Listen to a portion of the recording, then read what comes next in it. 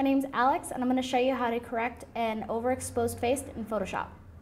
What I usually like to do is play around with the brightness slash contrast. So I'm going to go to this half circle here and select brightness contrast.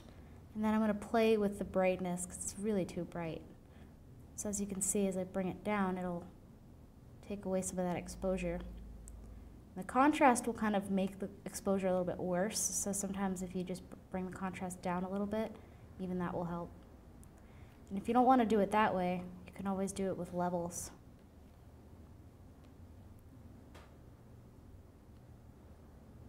This will kind of single out the exposure though. So you could always do curves too.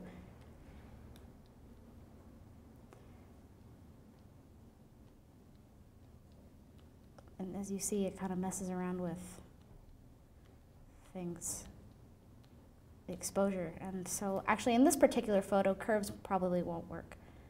So I'm just going to go back to brightness and contrast and just stick to that. And then once you've found the brightness you want, right click and merge down. And there is your fixed photo. My name is Alex and this is how you fix an overexposed face in Photoshop. Thank you.